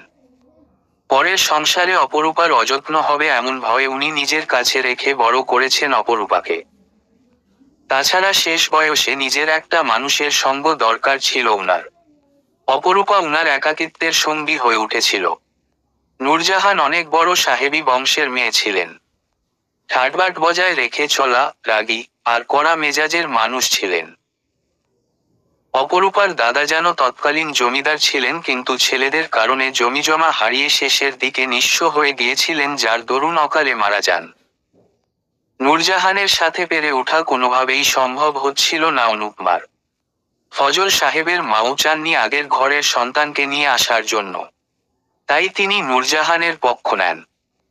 ছলে বলে কৌশলে অনুপমা অপরূপাকে নিজের কাছে নিয়ে যাওয়ার আপ্রাণ চেষ্টা চালিয়ে যেতে থাকে। নূরজাহান একদিন সশরীরে উপস্থিত হন অনুপমার বাপের বাড়িতে। সাবধান বলে, অপরূপাকে নিয়ে যাওয়ার কথা ফের বললে উনি আত্মহত্যা করবেন আর তার জন্য দায়ী থাকবে অনুপমা। অনুপমার সংসারেও এ কারণে অশান্তি বাঁধে। দুরারোগ্য ব্যাধিতে ভুগেন অনেকদিন। উন্নত চিকিৎসার জন্য ফজল সাহেবে উনাকে নিয়ে দেশ ছাড়েন। দেশে ফেরেন ছয় বছর পর। দেশে ফেরার পরপরই অনুপমা অপরূপার খোঁজ নিয়ে জানতে পারেন মেয়ে এখন স্কুলে পড়াশোনা করছে। একটা চিঠিও লেখেন উনি। চিঠিটা নূরজাহানের হাতে পড়তেই উনি ভয় পেয়ে যান। অপরূপাকে হারানোর ভয় পুনরায় ঝেঁকে ধরে। অপরূপাকে উনি কলিজার আধখান বলে সম্বোধন করতেন। কোনো কিছুর বিনিময়ে অপরূপাকে উনি হারাতে চাননি। তাই অনুপমাকে চিঠি লেখেন। নিজের ঠাটবাট বিসর্জন দিয়ে অনুপমার কাছ থেকে ভিক্ষে চান অপরূপাকে। বলেন, কোনোদিনও যেন উনি অপরূপাকে দাবি না করেন। ফজল সাহেব অপরূপাকে ভুলে যেতে বলেন। অনুপমা হার মানেন না। অপরূপাকে চিঠি লেখেন। কিন্তু তার আগেই অপরূপার চিঠি আসে। যেটাতে অপরূপা লিখেছিল, তার দাদি জানি তার মা, তার বাবা। মায়ের সাথে সে যেতে চায় না। অনুপমার সব আশায় জল ঢেলে দেয় এই একটা চিঠি। অপরূপার কাছেও মায়ের একটা চিঠি আসে। যদিও সবকিছু নূরজাহান নিজেই করেছিল মায়ের কাছ থেকে অপরূপাকে দূরে সরানোর জন্য। মামিয়ের এই মধ্যকার দূরত্বের একমাত্র কারণ ছিলেন নূরজাহান নিজেই। উনি অপরূপাকে নিজের কাছে রাখার জন্য সম্পত্তির অধিকার আদায়ের জন্য ছাড়তে চাননি। তাছাড়া অপরূপা উনার জীবনের একটা অংশ জুড়ে ছিল সেখানে মায়ের দ্বিতীয় সংসারে অপরূপাকে দিয়ে দেয়াটা উনার কাছে বোকামি ছাড়া আর কিছুই মনে হয়নি। ফজল সাহেব খুব করে অপরূপাকে নিয়ে যেতে চেয়েছিলেন উনার অক্ষমতা জানার পর। অনুপমার সন্তান শোকও কমে যেত উনার অক্ষমতার দুঃখও ঘুচে যেত। কিন্তু তা সম্ভব হয়ে উঠেনি নূরজাহানের জন্য। এদিকে অপরূপা বেড়ে উঠল মা নামক মানুষটিকে ঘৃণা করে করে। সে জেনে এসেছে অন্য কথা। ছবিতে মাকে দেখেছিল সে। মাঝে মধ্যে মানুষ বলতো তাকে, তোর মা এসেছিল তোর খবর নিতে। চাচিও বলতো, দাদিজান তা শুনে বলতেন ওরা তোর সাথে মজা নেয়। তোর মা বিদেশে থাকে। তার একটা সংসার আছে, সেখানে তোকে নিয়ে যেতে চায় না। অনুপমা সত্যিই বিদেশে বাড়ি জমিয়েছিলেন স্বামীর সাথে। সেখানেই থাকতেন অপরূপাকে দেখার সাথে সাথে উনি কাছে এগিয়ে গিয়ে মুখ ছুতেই অপরূপা উনার মুখের দিকে চেয়ে থাকে নিষ্পলক অনুপমা তার মুখটা আগলে ধরে বলে মাসাল্লাহ সুকন্যা। অপরূপা শেহজাদের দিকে তাকায়। শেহজাদ এগিয়ে এসে বলে, আপনি রূপার কে হন? অনুপমা কান্না যেন গলায় বলে, আমি ওর জন্মদাত্রী, মা। সকলেই চমকে উঠে, স্তব্ধ চোখে তাকিয়ে থাকে। অপরূপার শান্ত কৌতূহলী দৃষ্টিজোড়া অশান্ত হয়ে উঠে নিজেকে ছাড়িয়ে চুপচাপ কক্ষের দিকে হেঁটে চলে যায় সে। শেহজাদ বলে, আমি দেখছি। আপনারা বসুন। সাইরা, উনাদের নাস্তা পানি দাও। ফজল সাহেব বললেন, এত তাড়াহুড়োর প্রয়োজন নেই। অনুপমা নিজেকে সামলাও। শবনম আর সাইরা এসে অনুপমাকে নিয়ে গেল একটা কক্ষে। চৌকিতে হেলান দিয়ে বসে চুপচাপ চোখ বুঝতেই কক্ষে শেরজাদ প্রবেশ করে অপরূপাকে দেখে। ঘাড় ফিরিয়ে শেরজাদকে দেখে ছুটে গিয়ে ঝাঁপে জড়িয়ে ধরে হু হু করে কেঁদে উঠে। শেরজাদ ওর মাথায় হাত বুলিয়ে মুখটা আগলে ধরে চোখের জল মুছে দেয়। অপরূপা বলে, ওই মহিলার সামনে যেতে চায় না আমি। উনি আমার মা হতেই পারে না। মায়ের কি অতটা নির্মম হয়? আপনি ওনাকে চলে যেতে বলুন। শেহজাদ ওর চোখের জল মুছে দিতে দিতে বলে, শান্ত হও, দয়া করে। তোমার কান্না অসহ্য লাগছে। অপরূপার কান্না থেমে গেল তখনই। অসহ্য লাগছে। আমার কান্না অসহ্য লাগছে আপনার। শেহজাদ হতমতো খেয়ে বলে, এমনটা বলতে চাইনি। তো কি বলতে চেয়েছেন? আজ কান্না অসহ্য লাগছে আগামীকাল আমাকে অসহ্য লাগবে। চমৎকার। আমি আছি কেন এই মহলে? শেহজাদ অনুতপ্ত হয়ে অপরূপার দিকে এগিয়ে গিয়ে বলল, আমি শান্তি চাই। আর কিছু না।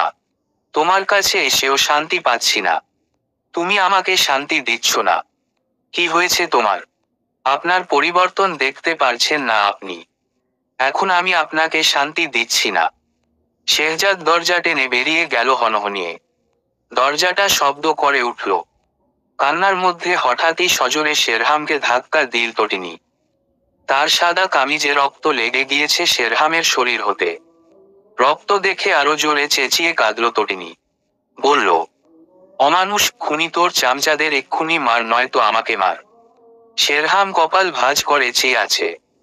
মাথায় রাগ চড়ে যেতেই দাঁতে দাঁত পিষে বলে উঠল, তুই তুকারি শুরু করেছিস কেন? তটিনী রাগের চোটে কাঁদতে কাঁদতে বসে পড়ল। তার গায়ের ওড়না নেই, মাথার চুলগুলো খোলা। সামাদার মুরাদের হাতের নোংরা স্পর্শে গা ঘিন ঘিন করছে। চিৎকার করে কাঁদতে থাকল। শেরহাম উপান্তর না দেখে সামনে বসে বলল, ওদের মারব, তুই শান্ত হ। এভাবে কাঁদছিস কিছুক্ষণ পর সবাই ছুটে এসে বলবে, আমি তোকে মেরেছি। তুই মেরেছিস কুত্তা। তোর চামচারা মেরেছে। নাফরমানের বাদশাহ, কাফেরের বাচ্চা দূর হ আমার সামনে থেকে। মানুষ খোকো জানোয়ার।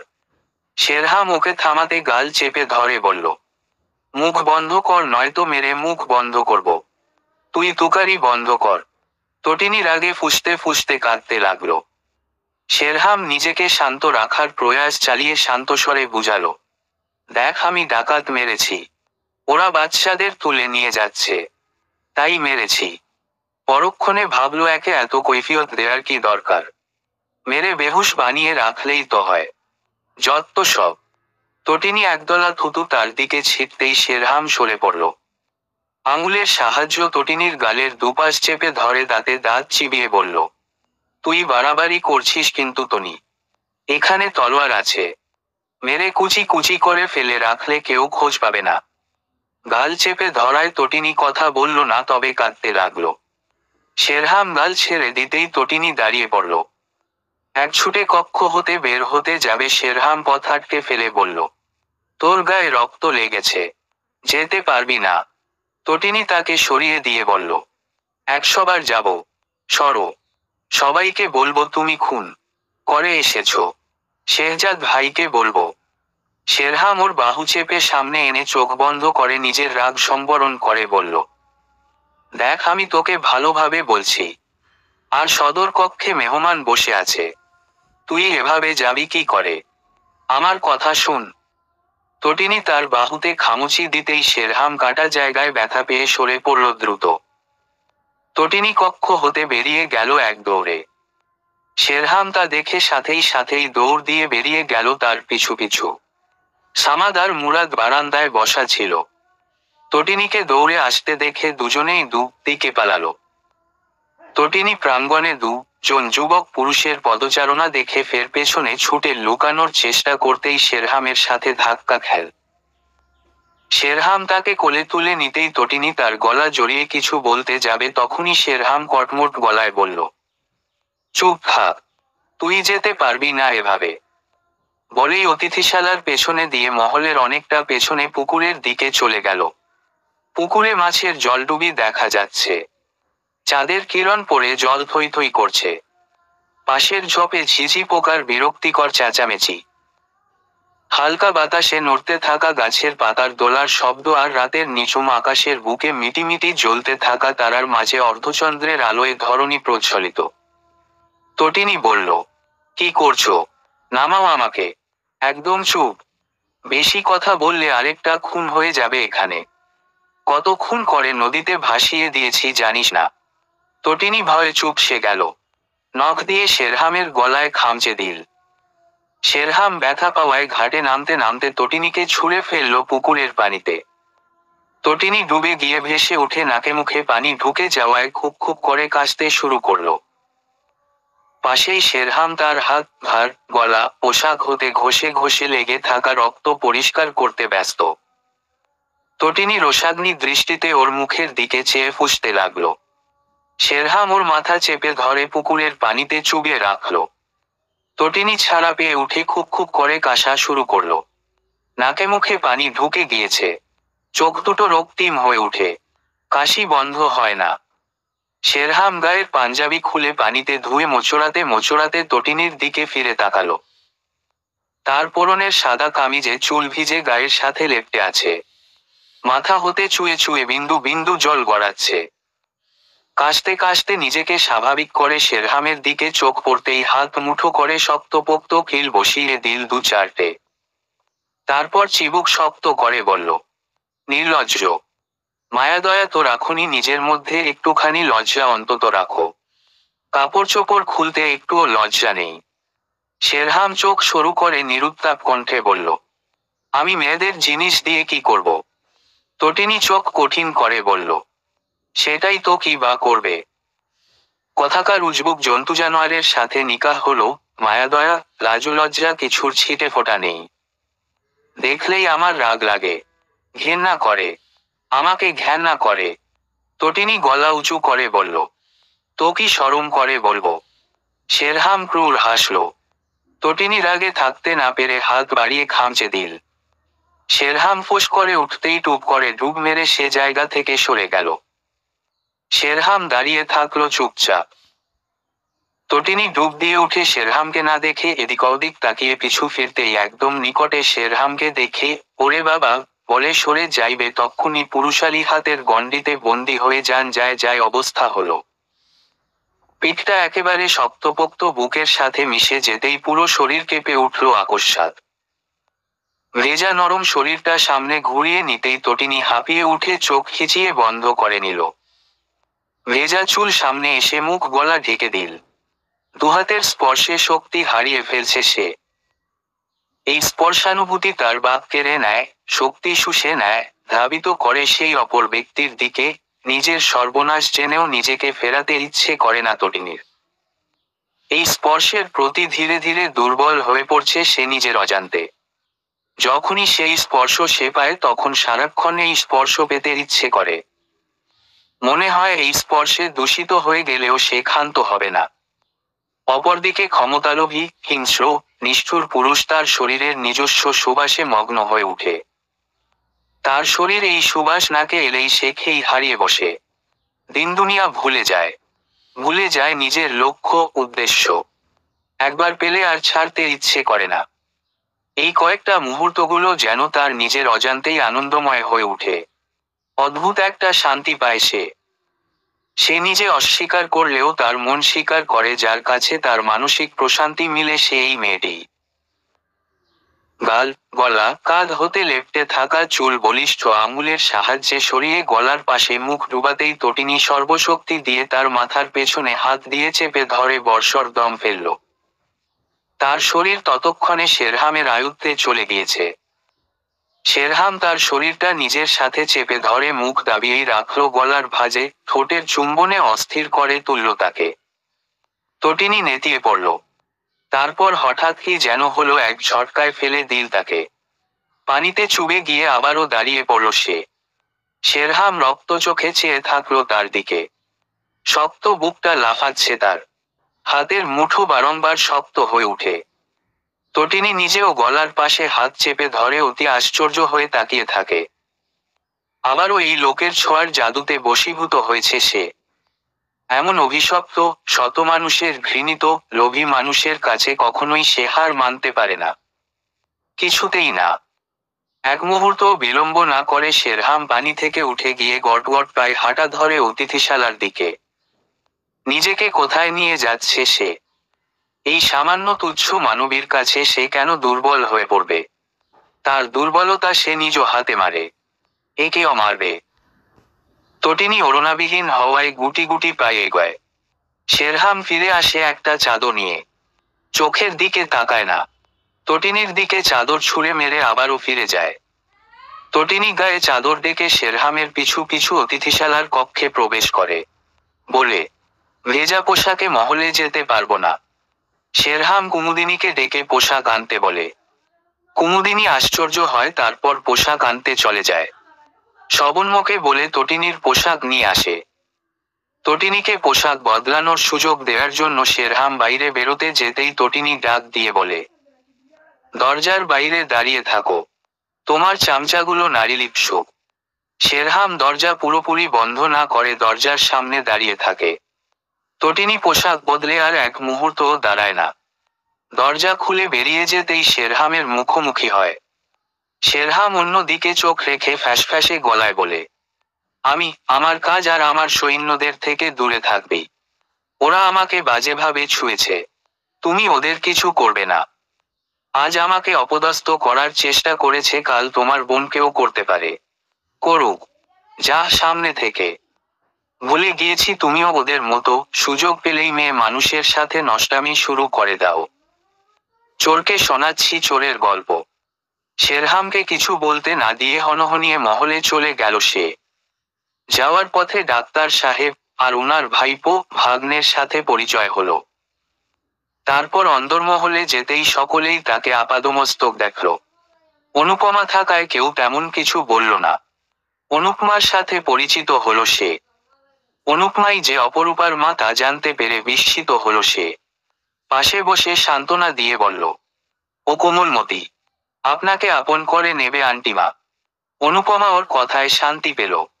থুতনি ছুঁয়ে বলল, মহলে কত মিষ্টি মিষ্টি মেয়ে আছে। আমি ওদের ঘটকালি করলে সমস্যা হবে।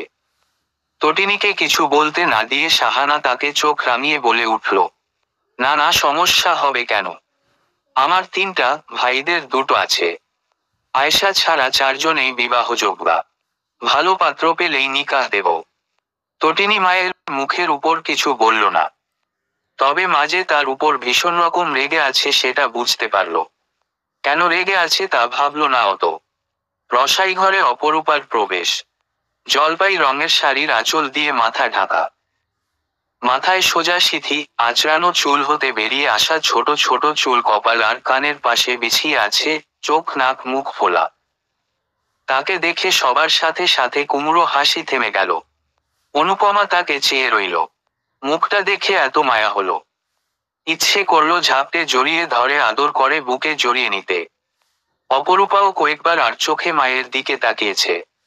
পাতিল হতে হারিসা নিয়ে কক্ষ ফিরে এল পুনরায়। সে কক্ষে এসেই শেহজাদকে দেখতে পেল। গায়ে শাল জড়িয়ে বের হচ্ছিল। তাকে দেখেও না দেখার ভান করে বেরিয়ে গেল কক্ষ হতে। অপরূপা হারিসা খেতে খেতে চোখ মুছল হাতের উল্টো পিঠে। তাইফার নাদিরকে কক্ষে আরাম করতে পাঠিয়ে দিয়ে কুমুদিনীকে ডেকে পাঠালো শেরজাদ কুমুদিনী আসতেই সাফায়াত শেরজাদের পেছনে দাঁড়িয়ে বলল, ভাইজান কুমু এসেছে। শেরজাদ কুমুদিনীর দিকে তাকিয়ে বলল তুমি গিয়ে আরাম করো। সাফায়াত চলে গেল মাথা দুলিয়ে। কুমুদিনী ভয়ে জড়সড় হয়ে আছে। শেহজাদ তার দিকে ঘাড় ফিরিয়ে তীক্ষ্ণ দৃষ্টি নিক্ষেপ করে বলল, ওই দিন ঠিক কি হয়েছিল সত্যি সত্যি বল। রূপা তোর উপর রেগে গেল কেন? ও শুধু শুধু দোষারোপ করার মেয়ে নয়। কুমু ভয়ে চুপ সে গেল। আমতা আমতা করে বলল, আমি বেলিফুল তুলতে গেছিলাম ভাইজান। বেগমও সেখানে গিয়েছিল। দু চারটা কথা কইলাম, তারপর সে তার কক্ষে চলে গেল। আমি আর কিছু জানি না। আপনি বকছেন তাই মাথা নষ্ট হয়ে গেছে তার। ওর মুখে মুখে তর্ক করবি না। যা এখন। কুমু চলে গেল।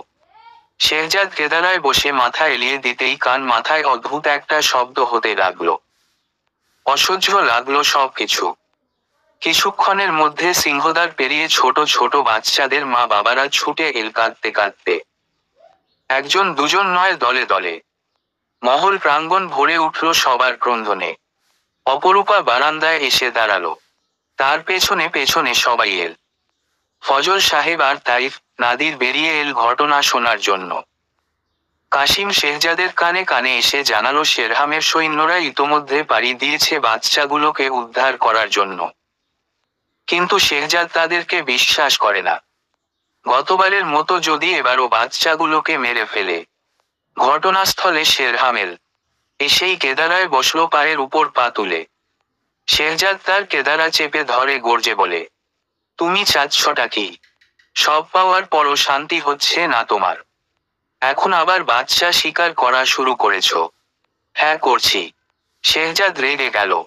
কেদারায় লাতি বসিয়ে বলল, ভালোই ভালোই বাচ্চাগুলোকে ফিরিয়ে আনো। নইলে আমার চাইতে খারাপ কেউ হবে না। তোমার বেয়ারাপনা অনেক সহ্য করেছি আর না। শেরহাম তৎক্ষণাৎ কেদারা ছেড়ে দাঁড়িয়ে শেখজাদের কলার চেপে ধরে বলে, কি করবি? মারবি? মেরে দেখা। আমিও দেখি কতবার স্পর্ধা তোর। শেহজাদ রক্তচক্ষু নিক্ষেপ করে চেয়ে আছে। হাতের মুঠো নিষ্পিস করতে করতে দিয়ে বসল একটা ঘুষি। শেরহাম ভাবতেও পারেনি তা। সে শেহজাদের গলা চেপে ধরতেই সকলেই আঁতকে উঠল। তটিনী সহ সায়রা, সোহিনী, শবনম সকলেই চলে এল প্রাঙ্গণে। তটিনী শেরহামকে টেনে ধরে বলল, ছাড়ো, কি শুরু করেছ? সত্যি কথা বললে এত জলে কেন তোমার? শেরহামকে টেনে নিয়ে এল সে। শেরহাম শাসিয়ে বলল, আবার বন্দি করব তোকে।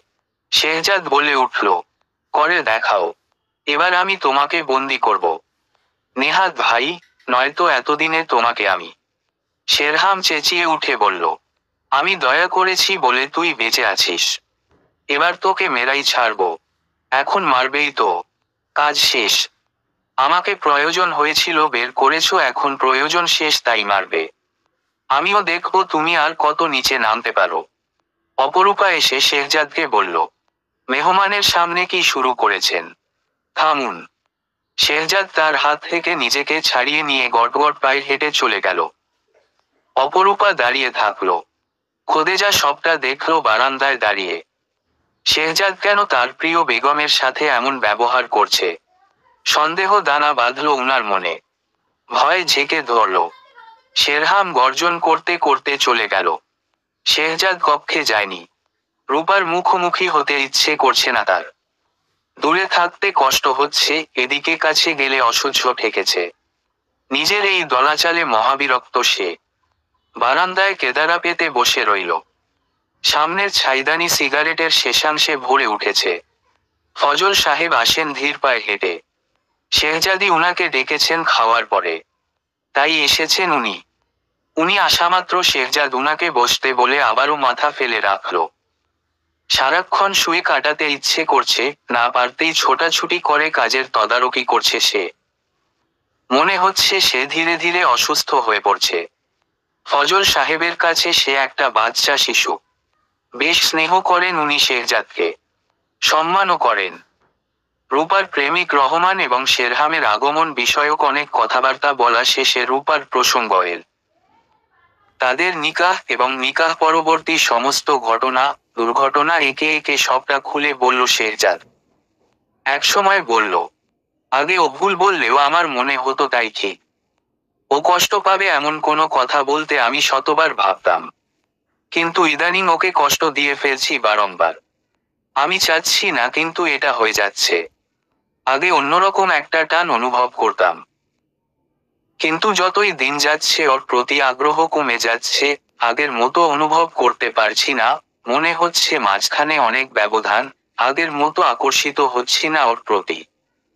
ফজল সাহেব অবাক কণ্ঠে বললেন, আমি বিশ্বাস করতে পারছি না এসব আপনি বলছেন। শেহজাদ বলল হ্যাঁ আমি বলছি।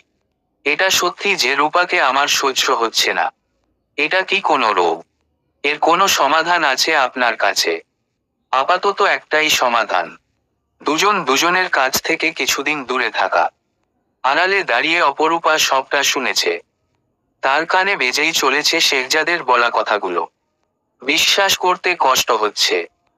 তার প্রতি আকর্ষিত হচ্ছে না, তার মানে দু দিনের ভালোবাসা ছিল তার প্রতি। দোষ তারই, সে লোভে সোনার খাঁচা দেখে বন্দি হতে চেয়েছিল, ভুলে গিয়েছিল সেটি খাঁচা। শেহজাদ কক্ষে এসে দেখল অপরূপা মেঝেতে মাদুর পেতে শুয়েছে। সে ভুরু কুচকে চাইল। জিজ্ঞেস করল, কি হচ্ছে এসব অপরূপা জবাব দিল না। শেহজাদ জানতে চাইল, রূপা বিছানায় ওঠো, আর বলব না, অপরূপার জবাব এল না। শেহজাদ তাকে কোলে তুলে নিয়ে বিছানায় শুয়ে দিতেই অপরূপা বলল, এত প্রেম না দেখালেও চলবে। এমন প্রেম অনেক দেখেছি, অতিষ্ঠ হয়ে গেছি। শেরহাম সুলতানের চাইতেও অভিনয় যথেষ্ট পাকা আপনি। বলেই নেমে গেল বিছানা থেকে। শেহজাদ অবাক কণ্ঠে বলল, কি বলছো রূপা? আমি প্রেম দেখাচ্ছি। আমাদের সম্পর্ক কি শুধুই প্রেমের? অপরূপা তাকে আর বলতে না দিয়ে চোখ ফিরিয়ে বলল হ্যাঁ সেটাই ছিল। কেউ কখনোই আমার মায় পড়েনি। শুধুই প্রেমে পড়েছিল। আপনিও তার মধ্যে একজন। শেহজাদ চেয়ে রইল। অপরূপা মাদুরে শুয়ে ঘুমিয়ে পড়ল। শেহজাদের ঘুম হলো না রাতে। ঝামেলা হওয়ায় শেরহাম কক্ষে খেল। তটিনী তার খাবার দিয়ে এসে নিজেও খেতে বসল। খোদেজা তাকে দেখে সাবধান করল সাহানাকে। তার শরীরের পরিবর্তন লক্ষ্য করা যাচ্ছে। স্বামী সংস্পর্শে গেলে মেয়েদের মধ্যে অদ্ভুত একটা পরিবর্তন ধরা পড়ে। তটিনীর ক্ষেত্রেও তাই। তা খোদেজা পরখ করেছে। তাছাড়া আজকে তার অতিথিশালায় যাওয়া, সেখান থেকে অন্য পোশাকে ফিরে আসাটা তাই বলে দিচ্ছে তাদের সম্পর্ক গভীরে যাচ্ছে। এ হতে দেয়া যায় না। কারণ শেরহামের পরিণতি করুন। এমন একটা মানুষের সাথে জড়িয়ে গেলে সর্বনাশ হয়ে যাবে। তটিনী খাওয়া শেষে বন্ধের কক্ষে চলে এল।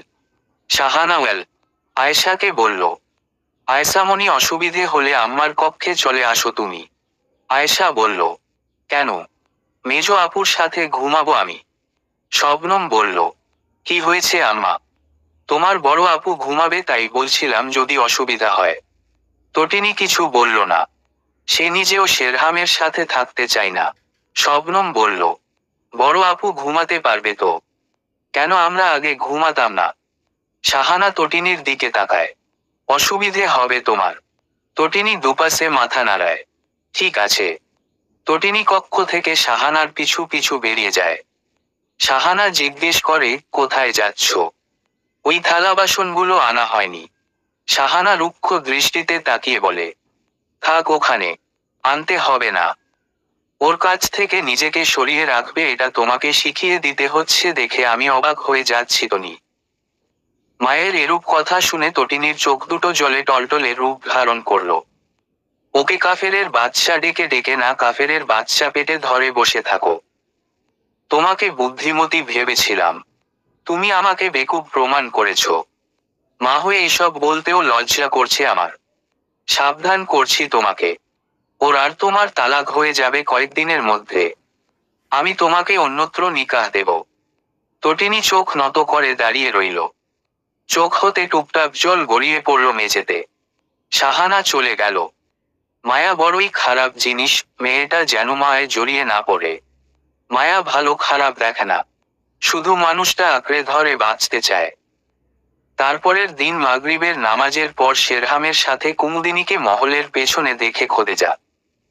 কুমুদিনীর হাতে বেলিফুল ছিল। তারা কথা বলছিল একে অপরের সাথে। শেরহাম ধমকাচ্ছিল কুমুকে। তা দেখে খোদেজার বক্ষ কেঁপে উঠে। তার মানে শেরজাদার রূপাকে জাদুটোনা করে আলাদা করার চেষ্টা করছে শেরহাম। উনি বিস্ময় ফেটে পড়েন।